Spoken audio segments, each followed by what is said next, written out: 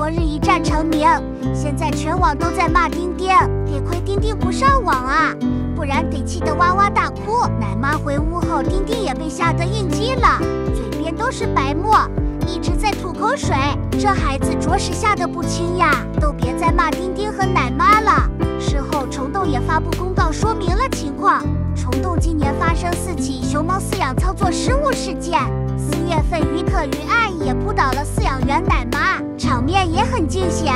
四月份就说吸取教训，防止类似事件发生。没过多久，莽晨晨走员工通道又火了，一直在缠着奶爸不让奶爸走，这就是管理问题。熊猫是熊，不是猫，是极其凶险的猛兽。熊猫伤人事件已经发生过很多起事故了，不要因一时的疏忽而造成严重的后果。希望虫洞真的谨记教训，举一反三。虽然熊猫看着一副憨态它们真的很厉害，只可远观不可近玩。珍爱生命，远离熊猫。